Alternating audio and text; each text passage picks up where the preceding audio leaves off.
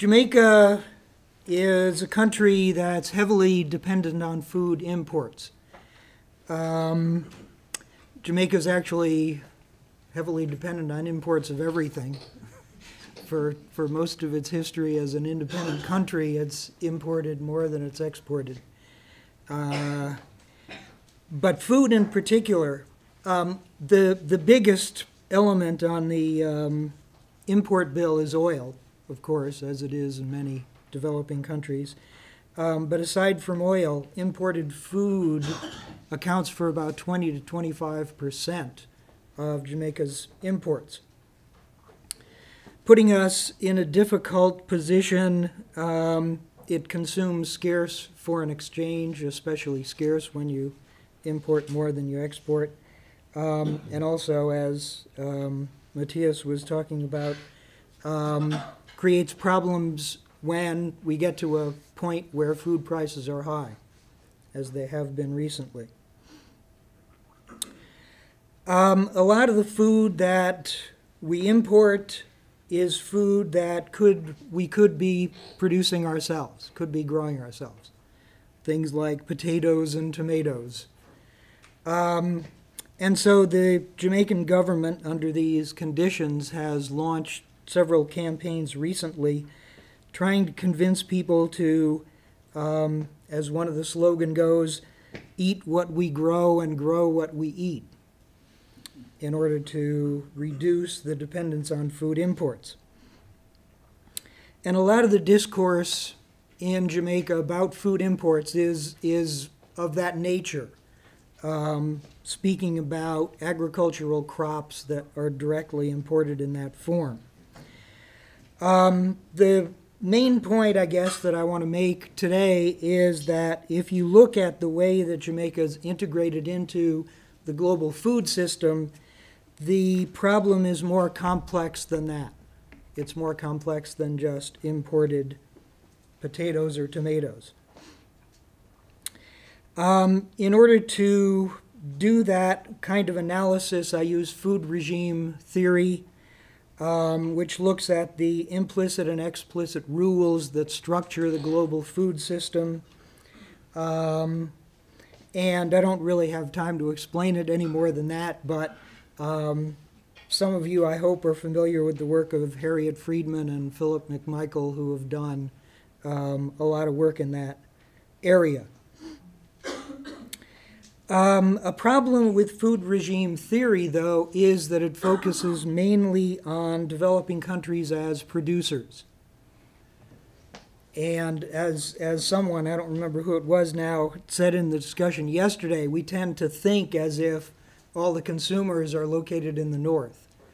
And so the, the um, analysis of food consumption focuses on northern consumers but there are a lot of consumers, obviously, in the developing world as well. Um, there is one aspect of food regime theory that does talk about food consumption in the South, and that is around the issue of PL 480, Public Law 480 in the U.S., which was passed in the 1950s in order to deal with grain surpluses in the U.S. that had built up because of the government's price support program to support farmers. Um, they bought grains in order to maintain prices, and they wound up holding huge stocks of grain. And in the 1950s, then the U.S. hit on this idea of using the surplus grain as food aid to the developing world for uh, a number of different reasons.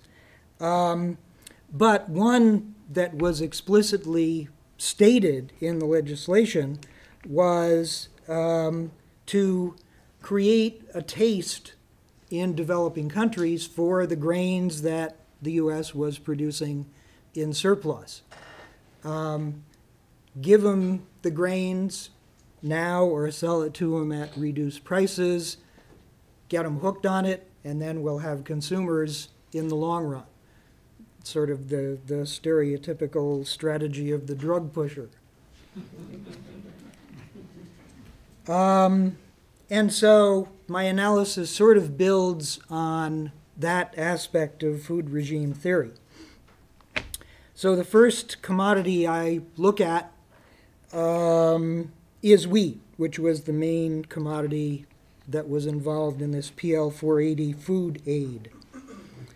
Um, the food regime theory analyzes um, the trade in wheat partly in terms of changing the diets of third world people um, who didn't normally eat wheat in order to get them to eat more wheat.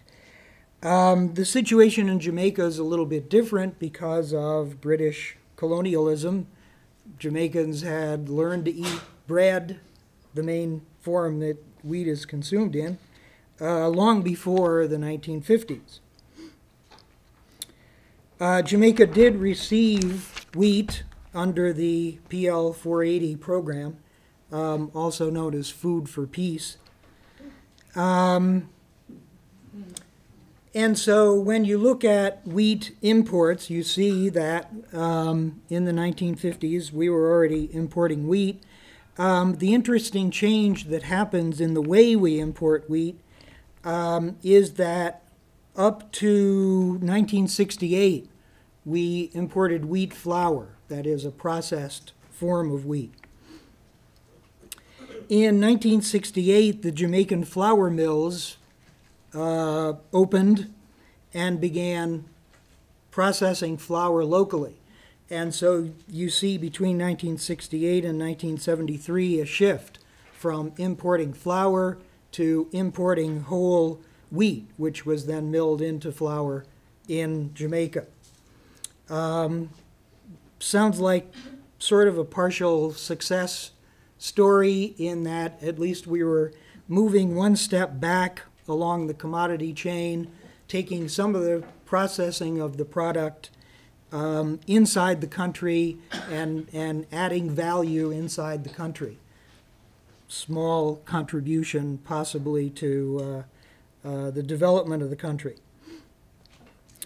Uh, then, if you look at the ownership of Jamaica Flour Mills, it started out as a 50 50 uh, joint venture. Pillsbury owned 50% and local capitalists owned 50%.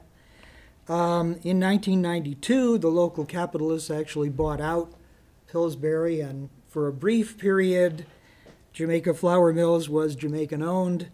And then in 1997, it was taken over by Archer Daniels Midland, one of the agribusiness giants. Um, so we've got in country processing of wheat, but it's controlled by uh, agribusiness TNCs. Um, food regime theory also focuses on other leading sectors of the food economy, which sort of lead and exemplify the uh, way that food systems are being restructured or have been restructured by these agribusiness corporations. Um, and another one of those main leading sectors is beef. And so I've taken a look at beef as well. Um, what you see if you look at beef imports is that um, through the 1960s and uh, early 1970s, beef imports were also increasing into Jamaica. Um, part of that had to do with the tourist industry when um, tourists from the developed countries came to Jamaica, they expected first world quality steaks in their restaurants. Um, and in order to get those, uh, we had to import them. But during the 1960s, we also started, uh, well, not started, but increased uh, local production of beef through the same kind of intensive feedlot system that was pioneered in the US.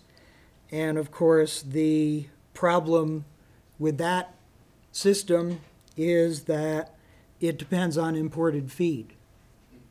Um, Jamaica doesn't grow uh, corn or soy, grow a little bit of corn, but not much.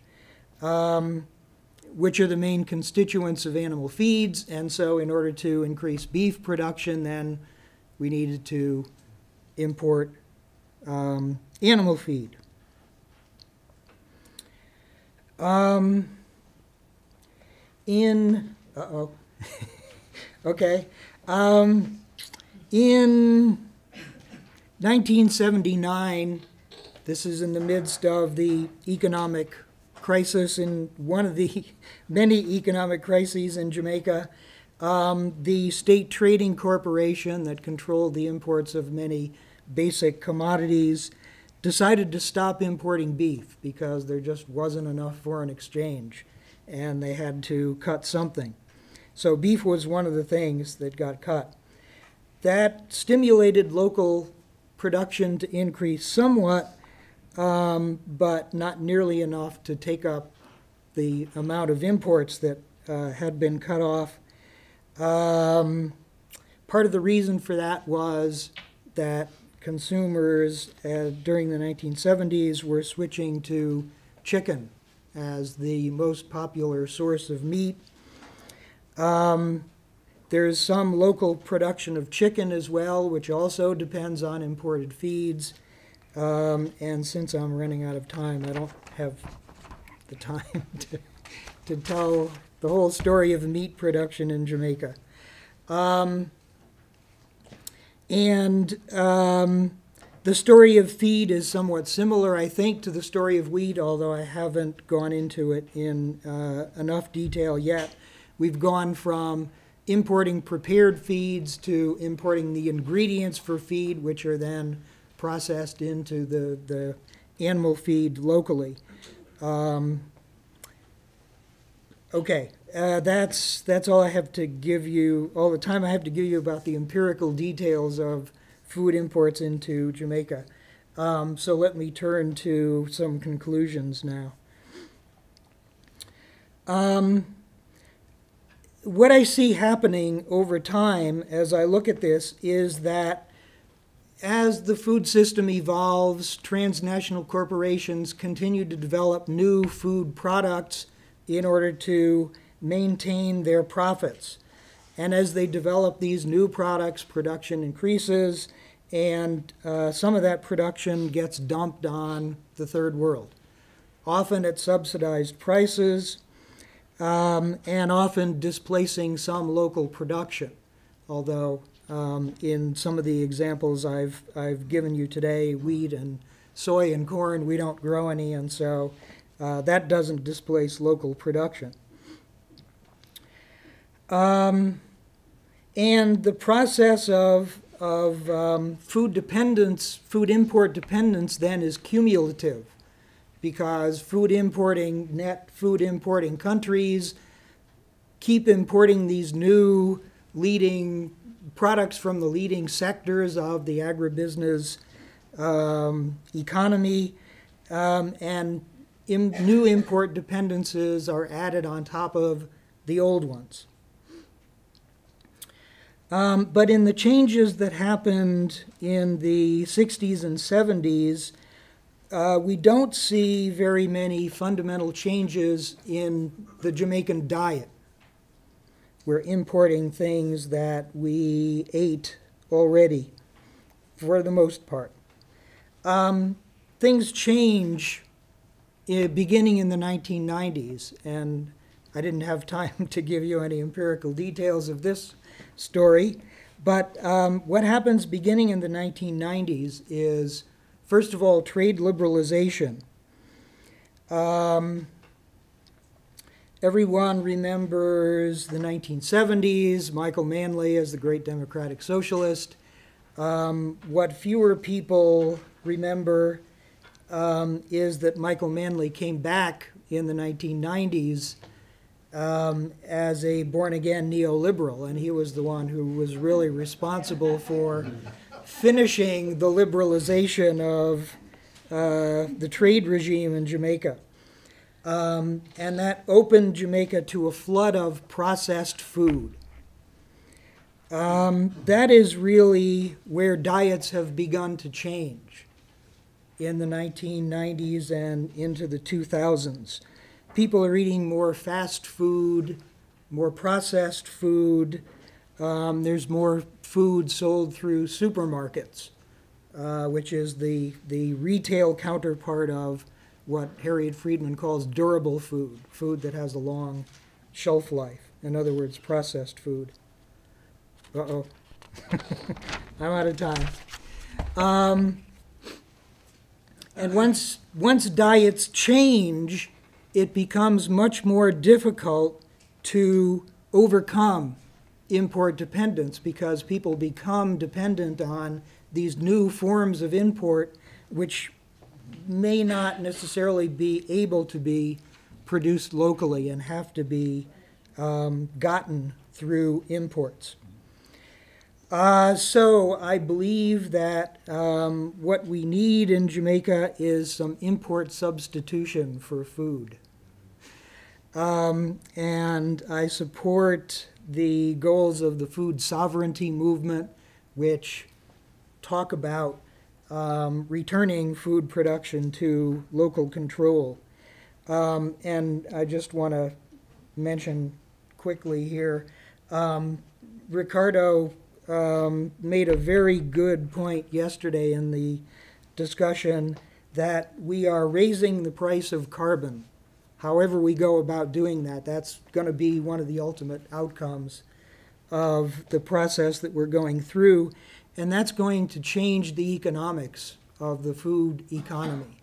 It won't be so easy or cheap to ship all these intermediate food processed products around the world and we're going to have to look at uh, more local production of food. And so uh, I'm actually, despite the general depressing nature of all of these presentations, I'm actually somewhat optimistic about um, returning more local food, more, more local control over the food system to developing countries.